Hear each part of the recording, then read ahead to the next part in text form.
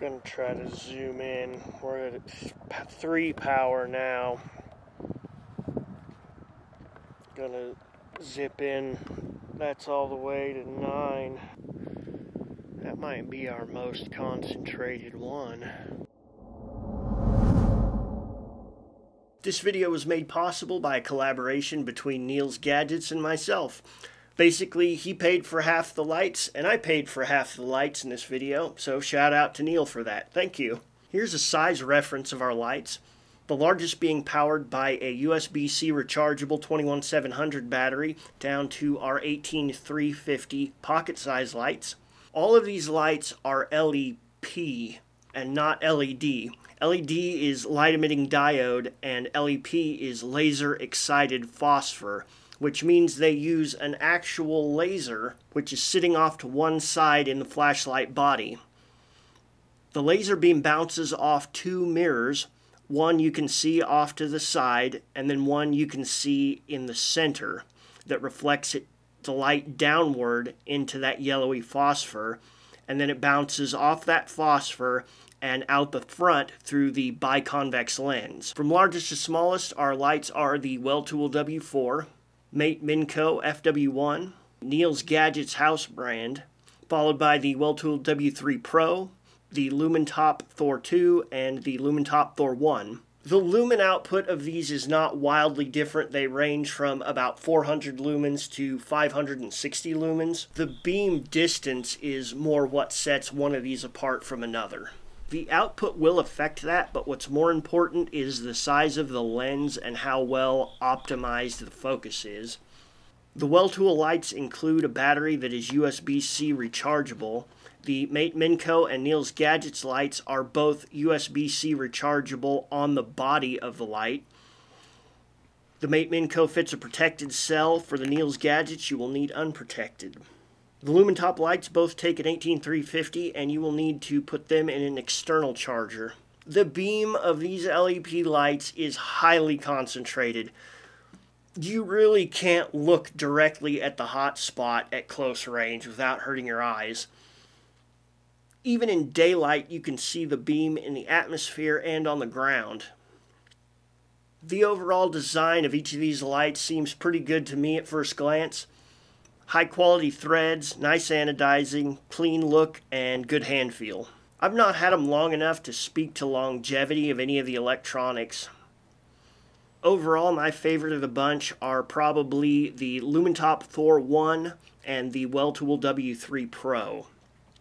The look of the Thor 1 to me is epic. I love how compact it is, and that tail cap is the bomb.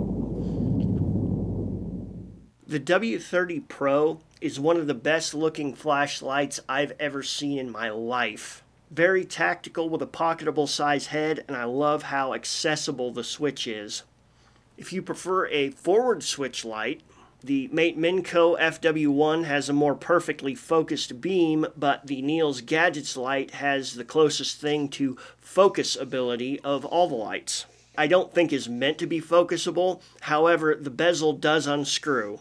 I can get almost double the size hotspot before the donut in the center gets nasty. If you can live with the dark spot in the center from that mirror in view, you get about four times the hotspot size. And with the head completely off, you get a donut mule. The Thor 2 is probably my least favorite light, but not because there's anything wrong with it. I just think for an 18350 light, it's kind of big. I'd rather just use the Thor 1 and save size and weight. It does come in titanium with three finishes though. Looking first at the lumen output, you can see I got consistently lower than the factory rating.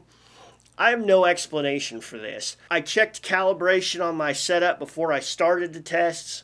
My batteries were charged. And in some cases, I ran the tests multiple times because I doubted the outcome. I suspect since the numbers are consistently low, there may be something in my setup that affects the measurements I'm getting from the lasers across the board. I'm much more pleased with the Candela readings that we got, which is how we measure beam distance. You can see that all of our lights performed at or above the factory rating. The Weltool W4 being the clear winner coming in at 2.49 million CD. The Thor 2 landed at the bottom of the barrel again, and I don't know for sure why. Uh, the factory lumen rating is 500 and I measured only 283. I ran that test three times just to make sure the light wasn't in medium mode or I hadn't made some other mistake. I performed all the Candela tests twice as well.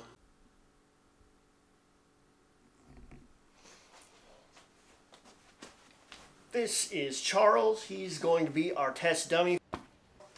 Hey! sorry, I mean test genius. I built this apparatus uh, so we can see what the beams look like through a target scope. Okay, Charles is standing about 200 feet that direction. Stand. What are you doing, man?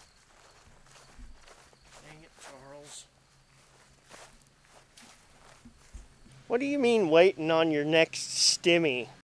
There's not going to be any more. You got come on. Come on. You got to get you got to do stuff. I'm going to do it with you.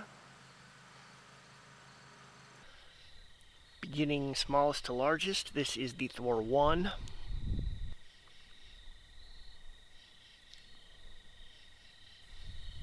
Stepping up to the Thor 2.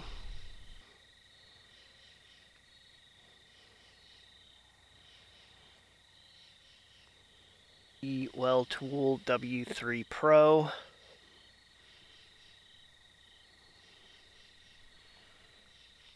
Neal's Gadgets.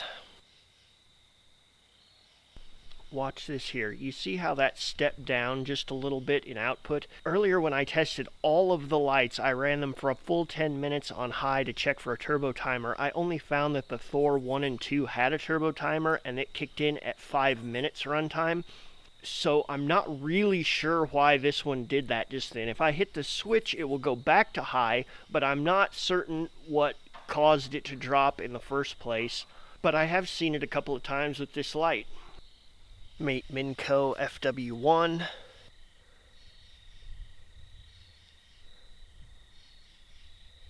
Weltool W4. because I know people are going to ask. We're going to look at it compared to Acebeam W30, which is the laser flashlight I reviewed in my other video.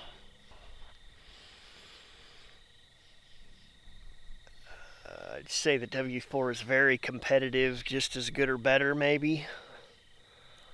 Uh, and now, compared to our equal size LED flashlight. So at close range, as far as being able to see, obviously you get more with the LED because it's like, you know, four times as powerful. Uh, but you can see our our beam, even at this much more power, is not it's not as tight. It's going to be more range bound. Here's that sequence again through our rifle scope. It is set on a magnification of 3.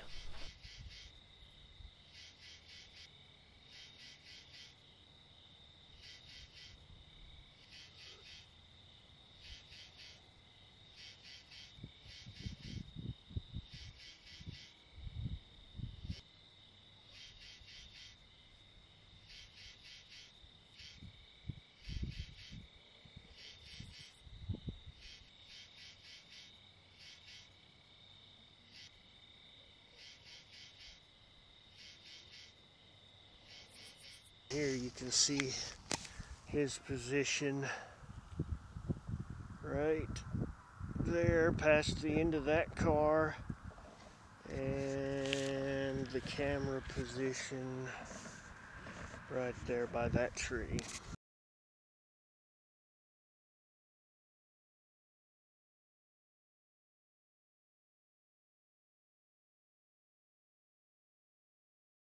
Our original distance in my yard was about 200 feet. Uh, with Charles sitting over there on that rock, that puts us at almost three times the distance, 550 feet or so. Uh, this time we're going to test our regular LED flashlight for our frame of reference. Uh, you can see it reaches down there, but it's just kind of splashing him. And and this is like a 2,000 lumen light. So realistically, if you're going to compare apples to apples, we would want to go uh, like on medium mode, because that's probably more like 600 lumens or 500 lumens, which is what the the laser flashlights are. That is the Lumintop Thor 1. Weltool W4.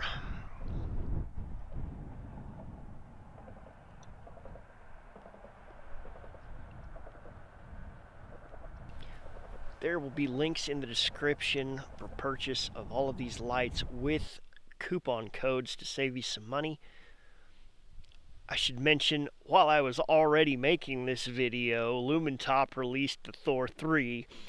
Uh, I haven't got to test that yet. Uh, I think Lumintop's a pretty safe bet as far as quality, so I thought I'd mention that light too. As always, guys, super thanks for watching and good lucks.